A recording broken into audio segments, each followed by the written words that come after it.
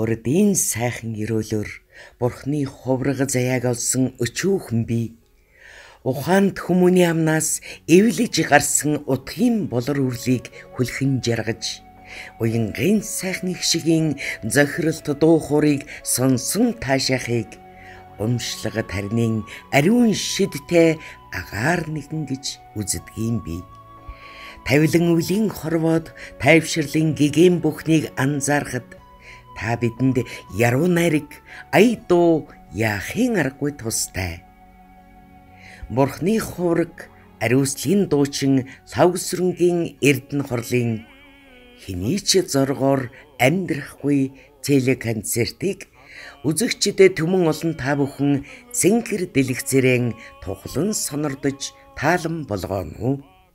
За сайн байцгаана уу та бүхэнд энэ өдрийн түмэн амар маглан гайлтхан мэдчлээ. За миний нэр бол Эрдэнэ Хорл. За яг өгшил удам одоо үүсэл гарал бол Завхан аймгийн одоогийн одоо Алдар хаан сумын үүсэл гаралтай. А би бол одоо Баян хонгор аймагт Баян ховоо сумд төрж өссөн.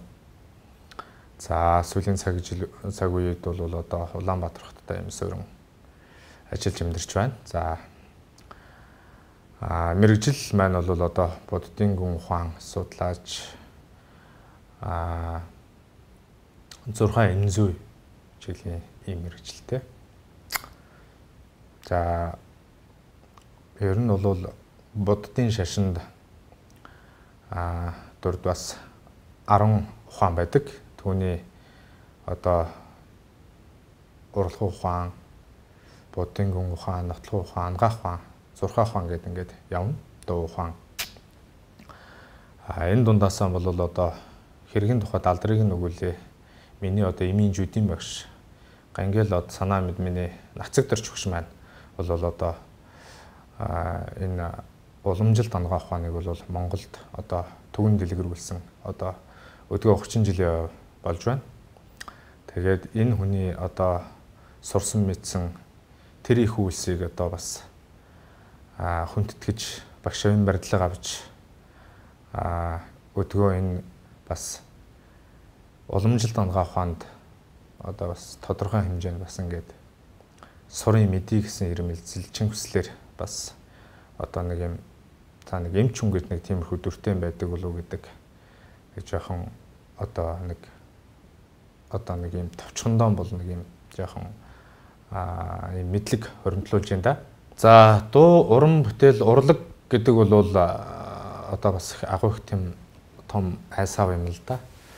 Тэгээд би бол дууг боддгийг би ер нь баг байхасаа л тийм дуулдаг байсан л да. Зүгээр яхаа а одоо тэр үед бол нөгөө нэг лам хөндуулж болдгоо гэдэг юм уу одоо нэг тиймэрхүү нэг юм ойлголтууд бол бас надад бас байсан шүү байна. Тэгээ би тэр талаар нэг тийм энэ урлаг руу нэг их дотроо бол энэ урлагт хайртай.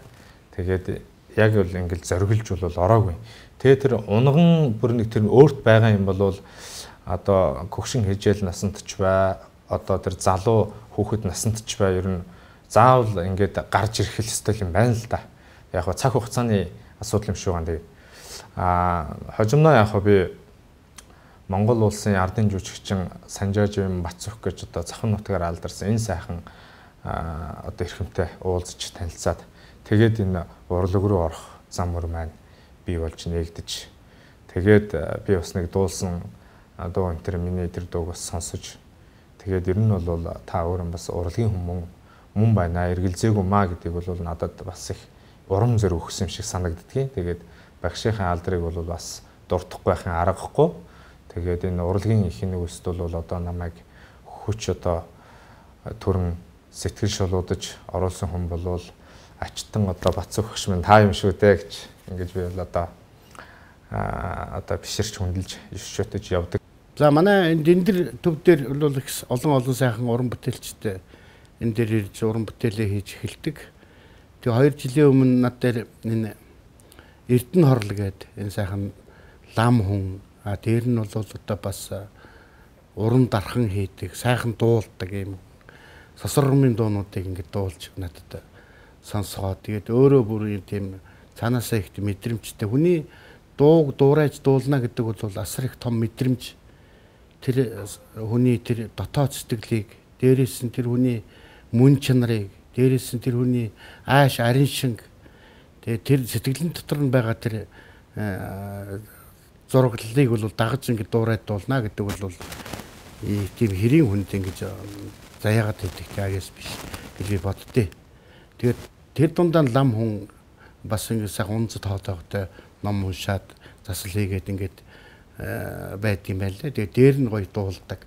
Сосрмын дуу яг л сосрм шиг ингээд дуулж байгаа харагдсан маа. Тэгээд миний дорны намхан отгон тэнгэргээд анх одоо би ая зохиож сурсан анхны маань ая цогдоржийн бавуударж төрийн саярхолд урлагийн гай сэтгэлтэй миний уран бүтээлийн найз цогдоржийн бавуударжийн шүлгэнд бүтсэн дорны ном ухаатхан тэнгэр гэж энэ шүлгэнд би ая хийж ингээд дуулсан. Тэгээд өнөөдөр завханчууд бол их дуулдаг, монголчууд их дуулдаг. Тэр үг нь бол өөрөө тийм сүншигтэй юм шиг, амьтын юм шиг, ийм сайхан тарин хэлж байгаа ч юм шиг ийм одоо их мундаг шүлэгтэй дуу шүү дээ. Тэгэхээр энэ дууг манай бөхчүүд энэ төр их тийм их уул ус руугаа хараад ихтэй залбирч дуулж яхийг би харж исэн. Тэгээ өнөөдөр одоо лам хүн энийг ингээд дуулъя гэдэгт нь би маш их дуртай. За чи энийг ингээд дуулж болноо гэд албан ёсны чи нэг ингээд одоо зөвшөөрөөд ингээд дуулуулж байгаа. За та бүхэнд жавар дачгинсан сайхан өвлийн минь төргийа. Завхны гимээ алдартай гайхамшигтай сайхан уран бүтээлчдийн маань нэгэн сайхан тэргүүн бүтээл болох Дорны номхон Отгон тэнгэр гэж энэ сайхан дууг залуу хүний хувьд би бас дахин дуулах болсондоо таатай байна. Санж доржийн бовдорж багшийн маань одоо шүлэг а Санжаа жовын бацх багшийн маань одоо аялгуугаар бүтэж байсан ийм сайхан уран бүтээл. Тэгээ бас эдгээр одоо дүү юм маань багш нар маань одоо бас залуу бидэндээ бас энэ сайхан дуунуудыг өргөжлүүлээд дуулах энэ сайхан алын ёсны зөвшөөрлийг нөгж яваад бид бүхэн бас таатай байдаг. Тэгээ миний хувьд бол одоо бас энэ дууг дуулах болсон нь бол асар их том хувь заяа аз завшаан гэж бол би хувьдаа боддог. Тэгээд бас намайг тоогоод багш нар маань энэ дуугаан бас надад харамгүй гэсэнд төөлөх баярлж явдаг аа. Тэгээд энэ дорны намуухан отгон тэнгэр гэсэн дууг Монголын өнцөг улам бүрд байгаа та бүхэн маань таалан болгон сонсноо. Тэгээд та бүхэн маань одоо завхин нөөдөө сүл тиймэрн бадрангуй амар амгалантай жаргалантай байхын үлзий утгын ирүүдийг өргөн дэвшүүлье.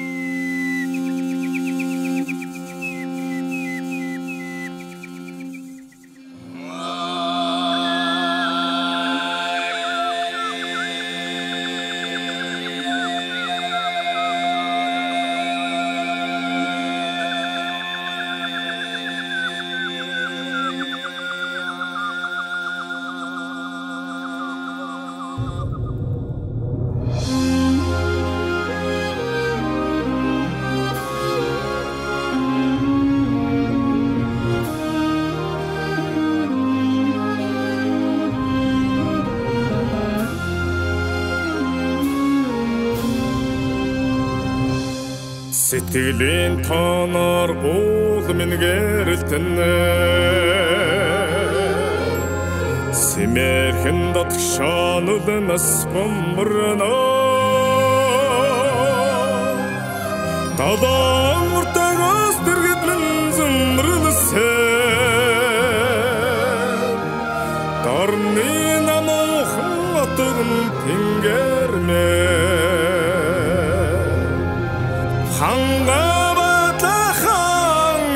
эцэгши хантаас хүрмэндэ багтаач түштэгдээ отгон тэнгэрэмми гурмал суран чөтра таасчаа Гуйгуула дууч нутга тэнцнэ санахын лэгэн жилхэн бада сарны дүлгөх өх тэнгэрмэ тэнгэр батла тэргэл жишээ төрлөг дэлэндэ багтааш түштгэдээ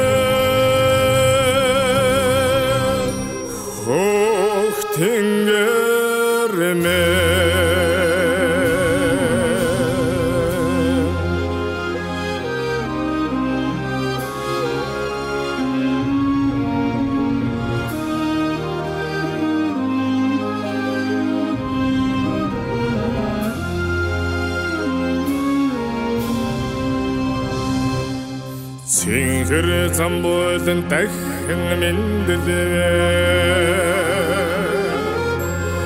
мэндэлээ Цэцгийнхэн үнэрээр нутгаа тэнцэнэ? Дууслаа сургуулнда Тусинграс шиг цахилан очно бэ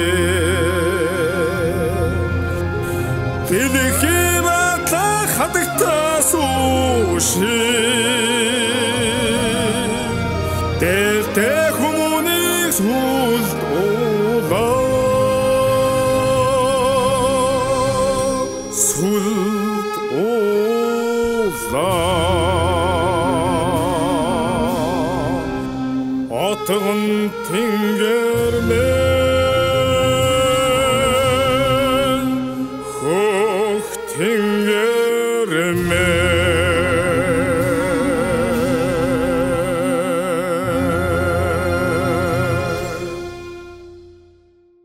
Тэгээд ер нь бол энэ уул усны тухай ийм сайхан дууг лам хүн ингэж дуулна гэдэг бол тэр олон үзэж байгаа үзэгчд нь өөрт нь гоё тийм сэтгэлийн засал хийж байгаа юм шиг уул усаа аргадан дуулж байгаа юм шиг эх орноо магтан дуулж байгаа юм шиг их тийм сайхан сэтгэл зүй сонсогддгийг.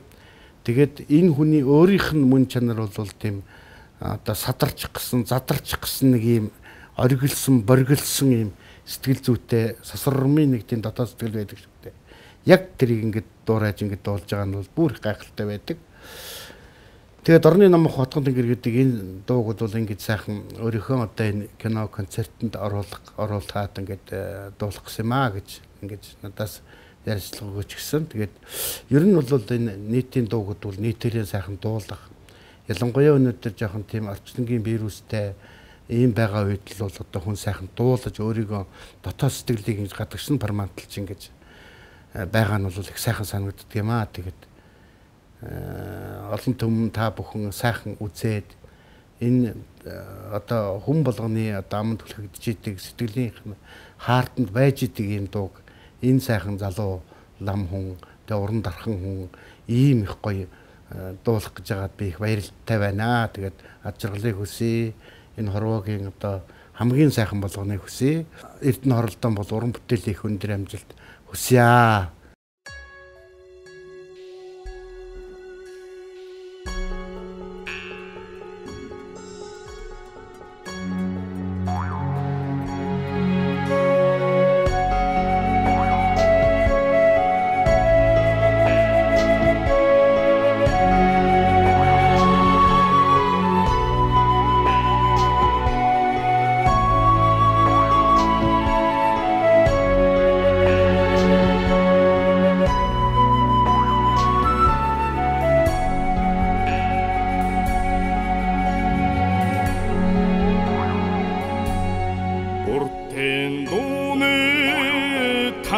тансаг аягоо Талаан дүрээд л шүрэн хаалаа Ухаант ээжүүдийн амлан харц. Танхилхан үрсэн аргадаас таяа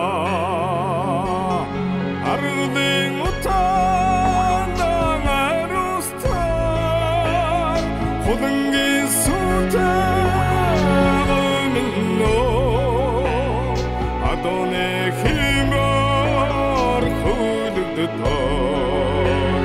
Хорин цэнхэр хангамино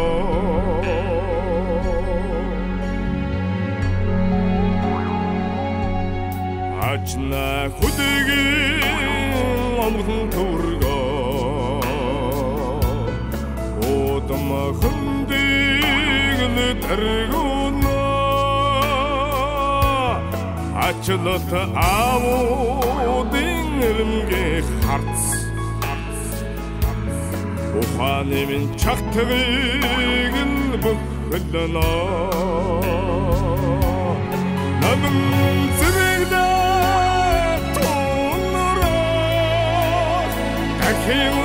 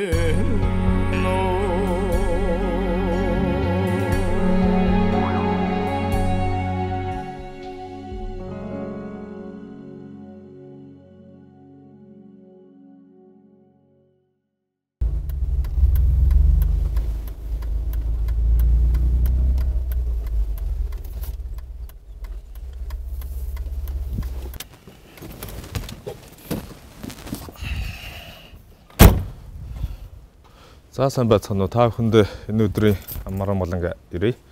За өнөөдөр миний одоо сурч боловсрч байсан сургуулийн маань 30 жилийн оточ мамрам их сургууль, мам татсан эмнэлэг, мам татсан эмийн үйлдвэр эдгээр одоо 30 жилийн тохиож байна. За хэргийн тухайд алдрыг нүгэл бэлгүүн номч нацагдэрж огш маань энэ одоо их үлсийг дэлгэрүүлээд одоо энэ цагдар одоо олон шанар тэргүүтэн бид бүхэн одоо батаршил өргөх ёслыг одоо үйлдэж байна. Тэгээд одоо багш маань одоо сүм хуралдаан морилсон байна. Одоо ингээд багш руугаа төлөө орё.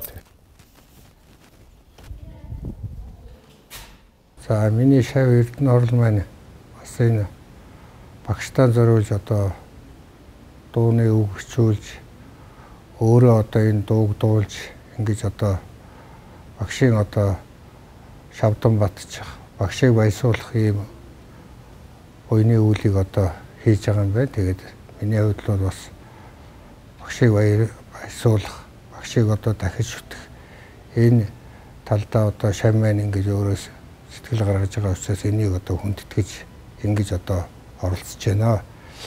За ер нь бол Эрдэнэ орлын хувьд одоо лам ховрогхон тэгээд одоо бас ном үзэж буйныг мөрөлж одоо явж байгаа хүн. Тэгэхээр бас багш шавийн барилдлагатай учраас бид нэр одоо хэн хэнийг одоо бас дэмжиж энерч асарж явах юм одоо багш хүний одоо үүрэг байдаг. Ингээд үр шавь нартай бүгдд нь одоо бас талархж байна. Ингээд Монголын ард түмэн бүгдээрээ амар амгалан сайн сайхан урт носолж удаан жаргаж явахыг одоо ерөөл төвшүүлье.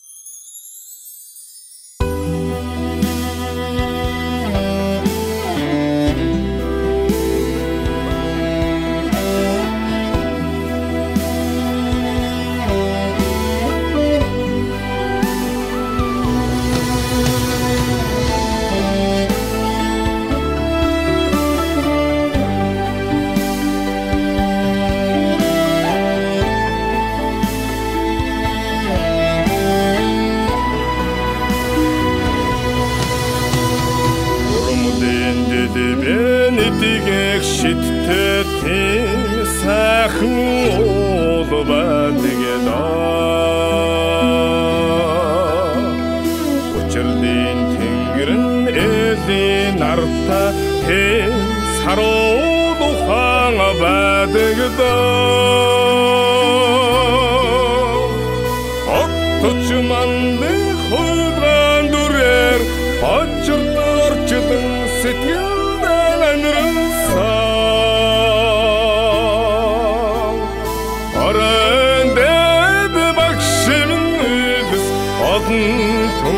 түнэхэ заяаг түшиндээ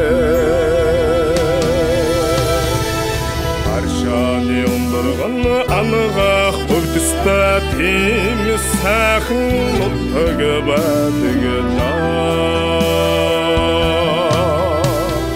Ачхын сэтгэл эрдэмийн гэрэлтэй тийм сайхан энч байдаг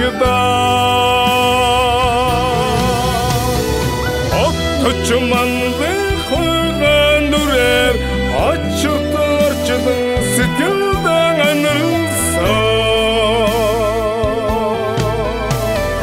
Орон дэд багшин үлс одон түнэхэ таяг түшиндээ Үжмийн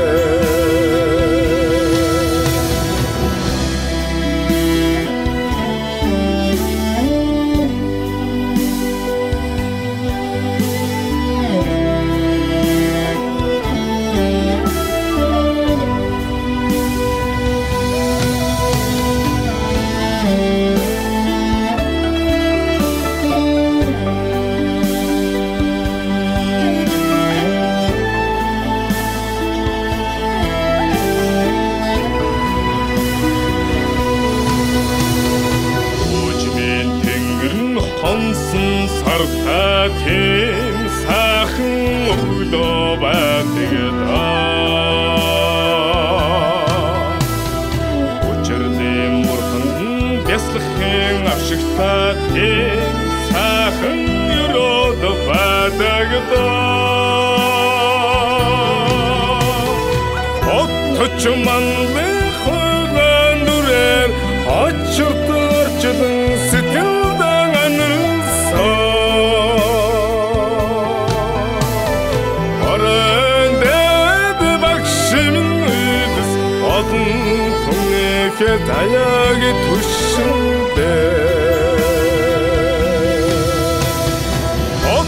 түшиндээ Отточ манлын хойган дүрээр очирт орчлон сэтгэлдэн анирсан Орон дэд багшин үлс одон түнэхэ даяаг түшиндээ Одон түнэхэ даяаг түшиндээ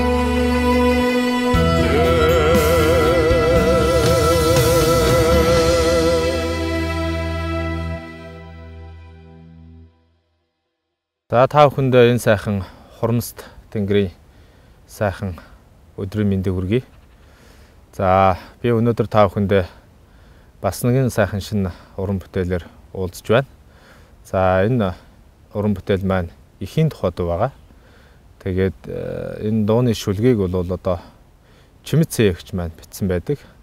За мөн одоо Монгол улсын солийн дөрвөн ажилтан Эрдэнэбатын аялгаугаар бүтсэн ийм сайхан дуу бэ. Тэгээд үзэгчд сонсогч та бүхэн байна. Одоо таалан болгоно гэж.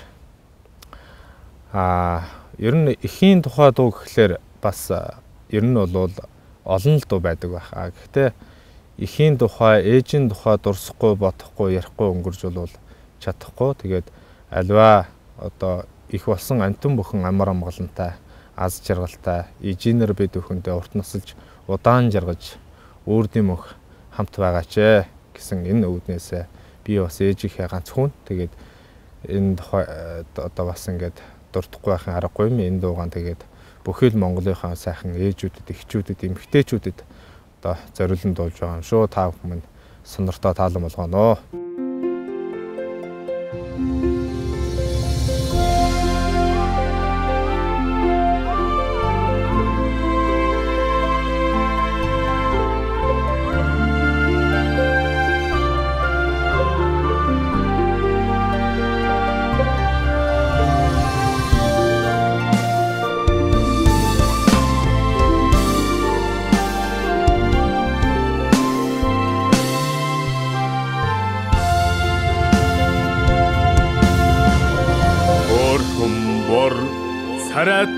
Гэрэлтэй хурамстай наран юмаач хүнлэгийн андан сэтгэл тань. Харлан энрэх өвдөстэй юмаач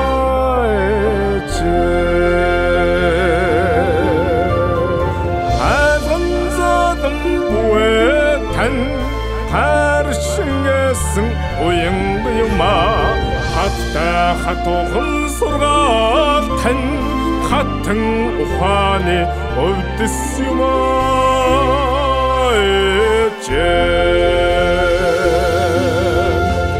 сэтгэл сүрхэнд минь шингсэн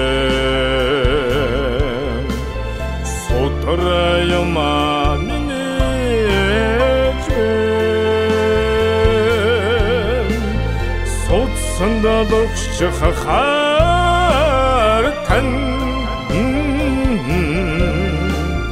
Сундалаш арухан юмаач хазган задам буэ тань. Харшингсэн уян юмаа хатта хатухан сургаа тань хатан ухааны өвдөс юмаа ганцхан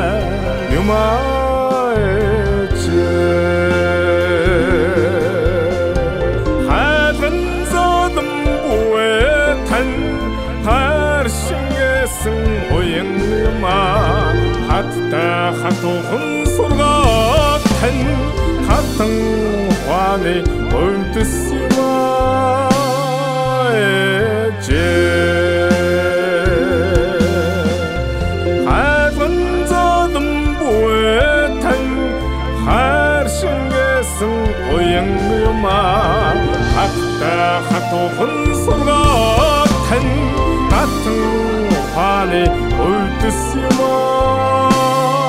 에제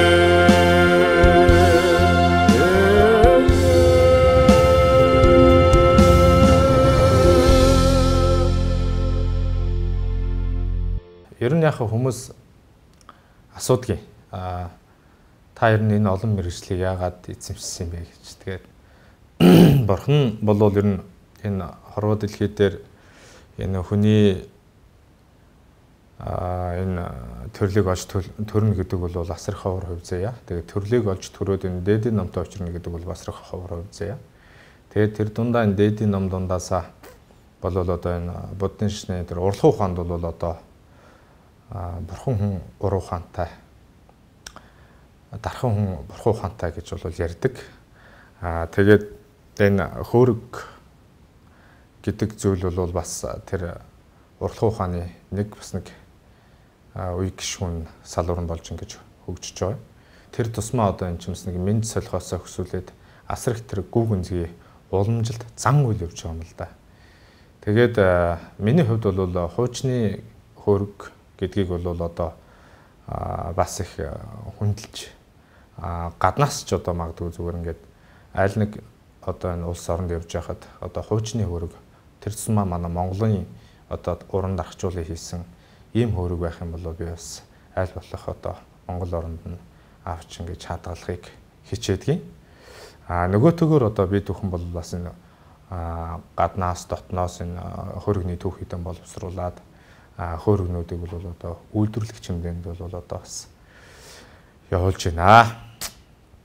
Тэгээд ер нь яг хаа тэр бурхны оноогдсон тэр оноогоор тэр хувь тавилангаар зарим хэсэг нь бол явж идэг байх. Зарим нь бол нөгөө төрсөн өдрийн төвөрөг гарсан өдрийн гаригийг эрс өөрчлөөд өөр шугам руу оруулаад өөр мэрэгжилтэй ингээд эзэн болоод эзэн хичээл заяа хичээгээд ингэж бас явдаг байх. Тэгэхээр миний хувьд бол а хөөрөг алт мөнгөний энэ чиглэл бол ер нь яг тийм одоо нэг цэвэр хобби гэх юм одоо ингэж явдаг.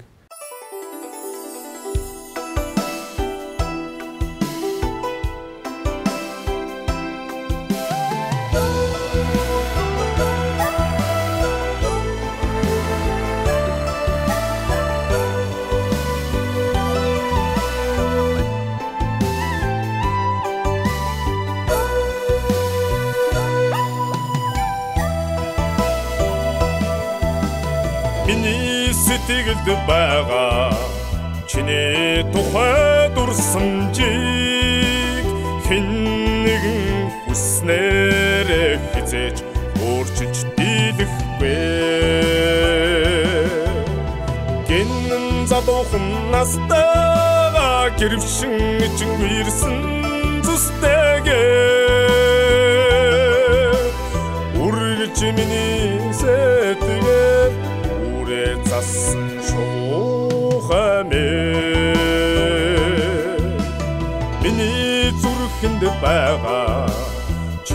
чиний дуусан дуучин хэн нэгэн дураараа хизээч арчиж амжихгүй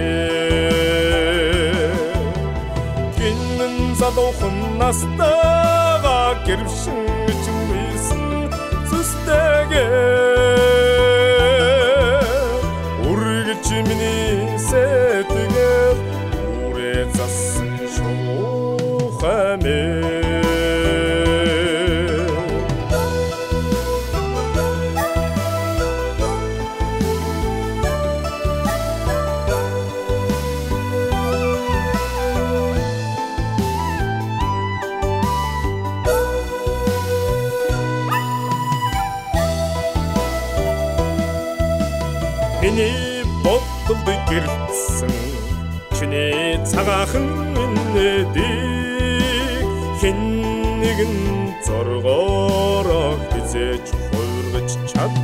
чадахгүй гинэн задуухан настайгаа гэрвшин чин ирсэн зүстэгээ үргэлж миний сэтгэл үрээ засан шуухамэ. Гинэн задуухан настайгаа гэрвшин чин ирсэн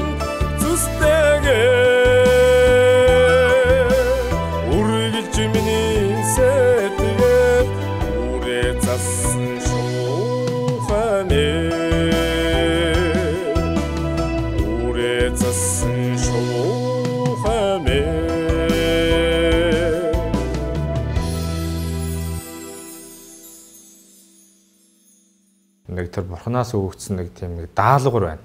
Нэг чи нэг тим тим хийгээ тим тим бүтээгээд ингээд нэг амтны тусыг бүтээгээд өөрөө өөрийн хийгээд өөр бусын одоо үйл хэргийг бүтээ гэж ингээд цаанаас нэг юм даалгавар ирд юм шиг байна.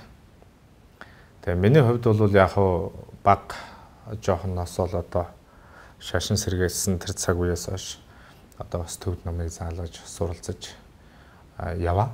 Тэгээд буддын шашинд 10 ухаан байдаг. Түүний дотор нь бол одоо хамгийн дээд оргил нь бол одоо буддын гүн ухаан.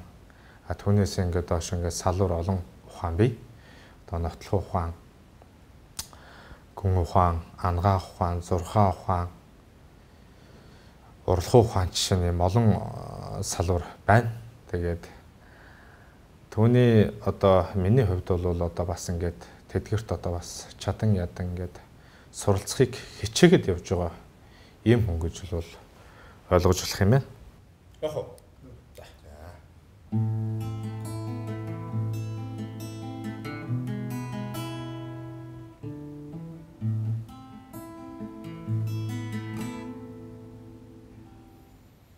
Сарны туянд цэцэг ургана салхины сэвшэн үлгэр урсна саруулахар нүдийг чин санна.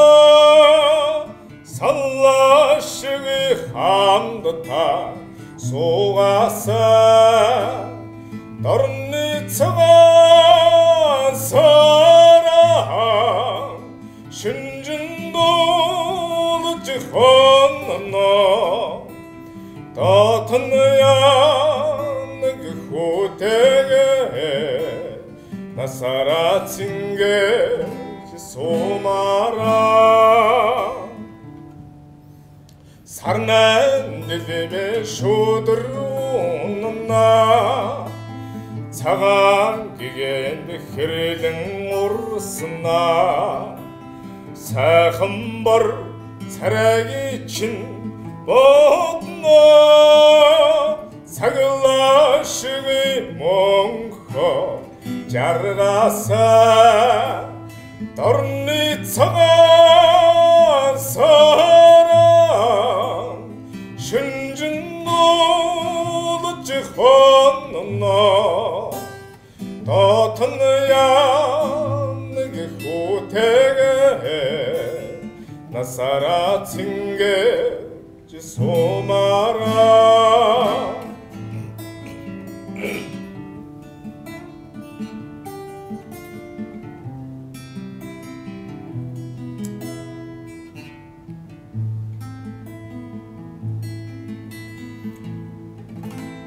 Сандны үнэрт салхин сэвшнэ Хэрлэнгийн шууд болж мөр зүудлэнэ Зөөлхөн зангчин хүүснэ Хинжишиг ихэр хайрласаа Дорны цагаан сараа